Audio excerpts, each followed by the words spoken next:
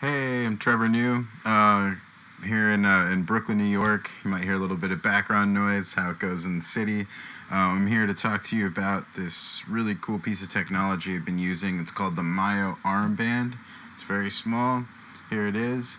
Uh, it fits on your forearm. You slide it on basically like this, and it has eight EMG sensors, which allow you to sense you know your muscle activity in this case in your forearm so it has eight of those and they all they touch your touch your skin pretty much and are able to feel what your muscles are doing.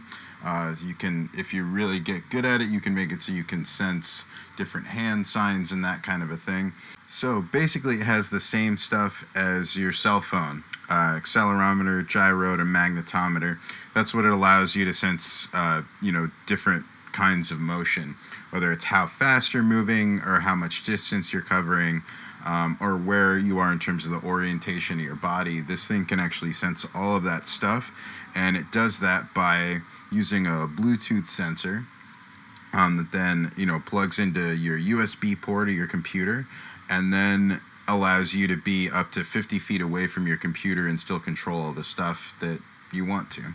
So what I'm going to do is I'm going to show you a few of the projects that I've been using this on and uh, yeah, see what you think. I think it's you know it's kind of an amazing thing that allows you to um, it allows you to work with three dimensional space in an artistic way. So that uh, and I don't know of anything else that does that quite to this degree and is quite as durable as this. This thing also has a crazy amount of battery life. So let's check out this uh, this show. Um, this first uh, performance I'm going to show you is Rivky Grossman. We're playing. Uh, she's a great singer uh, and and uh, works in theater. Um, really good songwriter. And this is a performance that we did at a bar in Park Slope.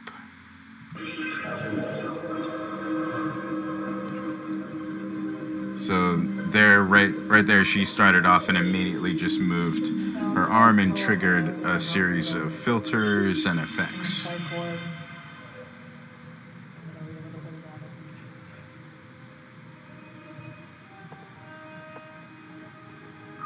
Doorknobs, padded rooms and chairs. Rivers of hospital gowns for miles. Changing of meds, so I'm going to stop it real quick here. Really amazing performance. kind of hard for me to do that. You can see how when she's moving her arm slightly, she's triggering this very uh, slow moving filter. So what I did is I built different gradations of motion. So with the slower motion and uh, even with slower rotation, there's a filter that kind of creeps in and then kind of encapsulates the sound. You hear that like uh, that vowel like kind of kind of thing that goes around that. So I'm going to keep going now. See if you can pick that out. Turning of shifts and nurses with smiles. Forgot who you are, becoming unclear. They're taking kaleidoscope fire. Somebody, anybody who's Got such a great voice.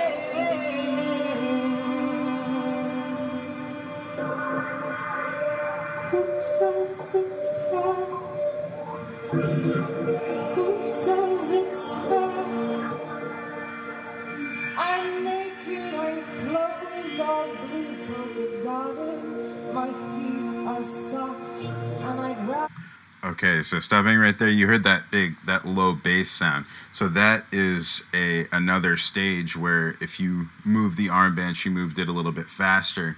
Um, I was trying to simulate actually breaking through a barrier, which is what's happening in terms of how it's programmed.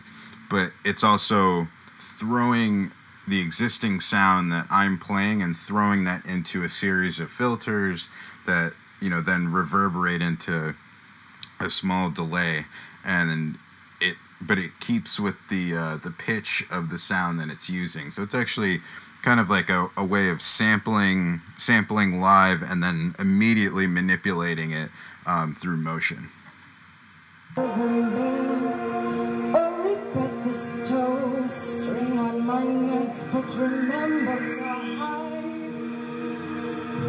don't show them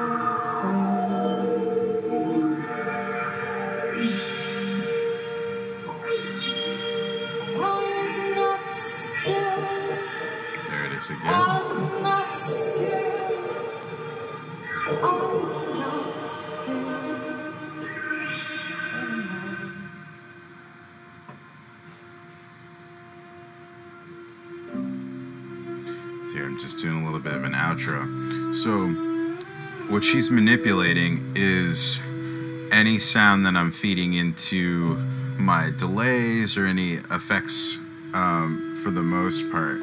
Yeah, any anything but my actual. Uh, yeah, Um, so anything um, but my actual sort of live acoustic sound, my dry sound, I should say.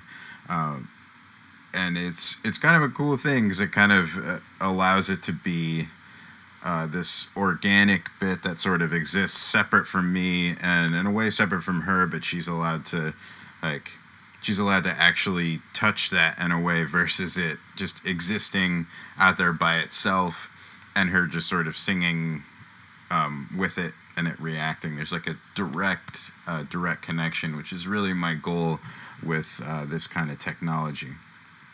So let's see, let's go forward. All right, so this is actually me. This this next video um, that I'm going to show you, and this is at a house show. The uh, sound recording, you know, it's from a camera, so it's not like the best. The best you're you're gonna hear. So was the last one. Ones later in the videos are gonna be a, a little bit higher quality. But I thought this was particularly interesting because this was one of the first times, I think the first time I performed solo uh, using the armband, which I have on, I don't know if you can see right here, it's on my, my right forearm. And uh, yeah, it's, it, it's sort of interesting because I'm, I'm also improvising, but it allows, it kind of extends what my intentions are and I can sort of dive deeper into my own music even. So let's uh, let's check that out here.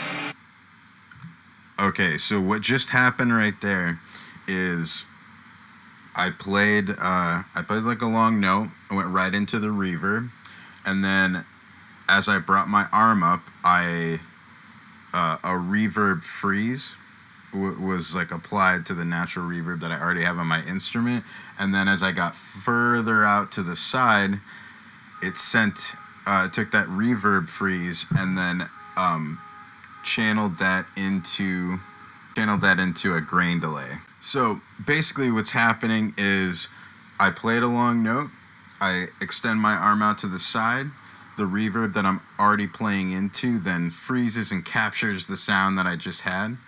As I go further out to the right, it sends that sound into a grain delay, which is in Ableton.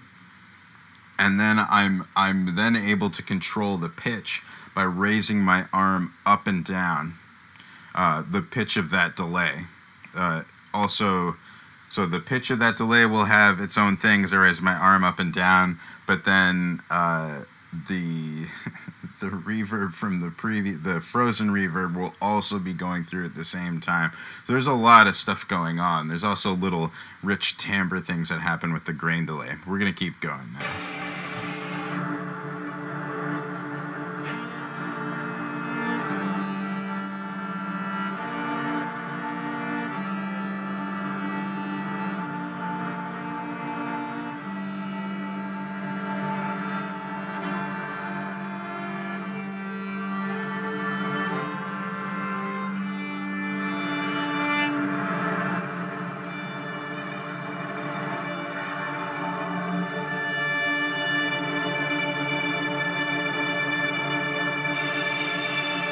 This is a good example of what I was just talking about.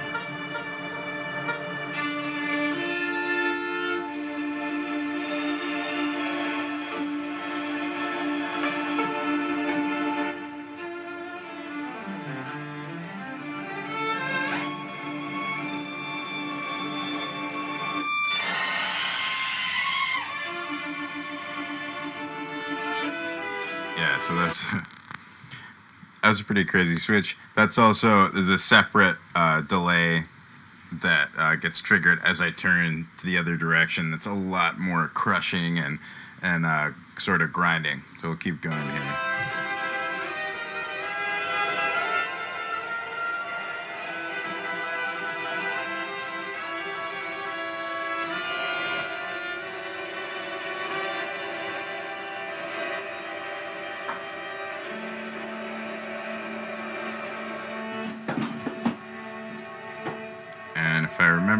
Correctly, that's somebody dropping their beer. Yep, he just pointed out. Somebody needs to clean that up.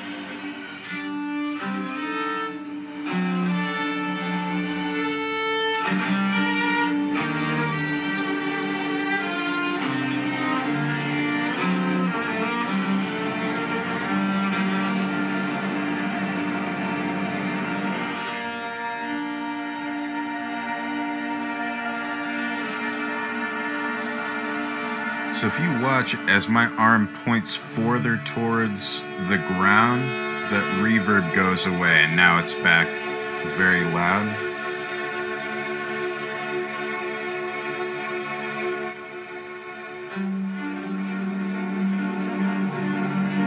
Yeah, so it's on a lot right now. I just kicked in a, an octave down delay.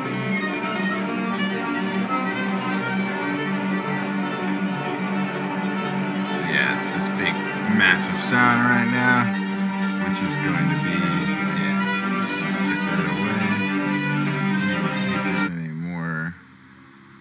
All right. So that was a. I feel like that was a good example of more ambient effects uh, with the band. Uh, this next performance um, is one where I've been using it just a little bit more, and I'm going to be doing it for more. Uh, there's more time time based effects. Like you'll you'll sort of hear this where the sound drops out or it's just all of a sudden held and then you get plunged right back into what's happening. Um, i'm also manipulating the uh, the looping uh, sort of virtual looping system that i have in my computer. I'm using a mobius 2 uh, looper. Uh, so my the effects from my instrument are being controlled and then also the effects from the the loops that I've created are also being controlled. So, and that happens at about, I believe, around here.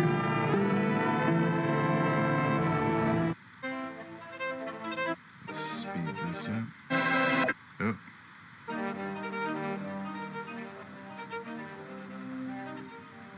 So I'm gonna start a loop right here.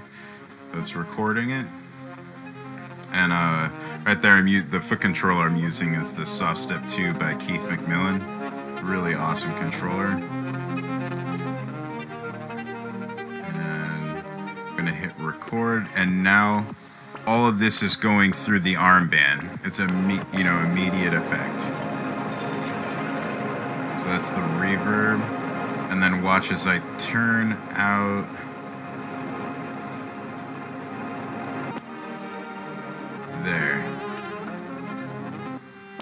So there's a threshold. If you watch my arm when it goes out to the side, there's a threshold of where it goes from one sort of reverb sound and then through a filter.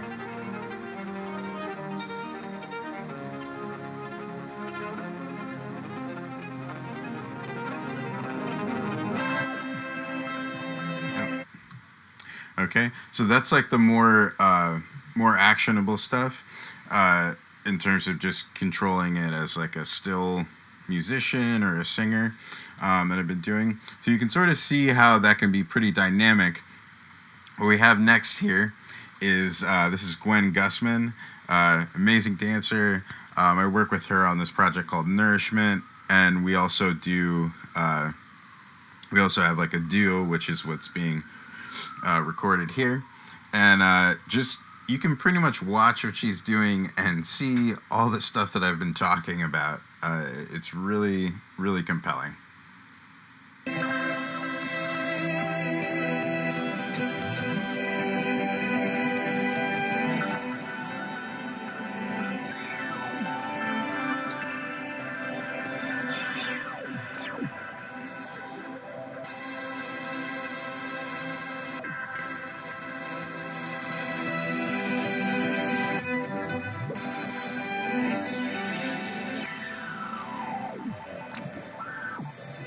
Can really hear how uh, hear and see like right there how her movements are affecting the sound. And this is a pretty saturated part of this particular recording. Um, but if you notice, there's it's basically 360 degrees of different options, and there was that reverb again.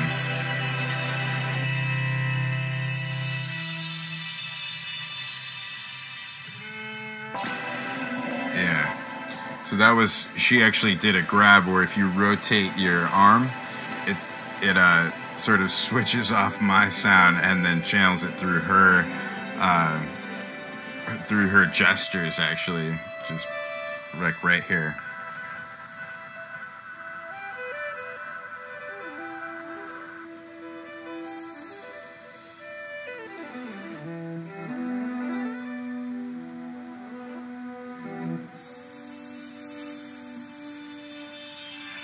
Think this is one of the more compelling things about the uh, the setup so far is having played all this stuff and it now being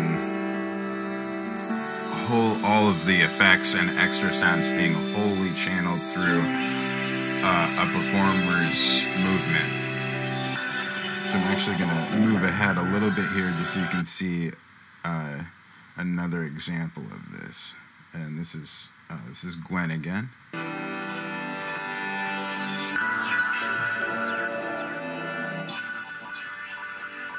Let's move ahead to back. So there's these. This is a little bit, a little bit less saturating.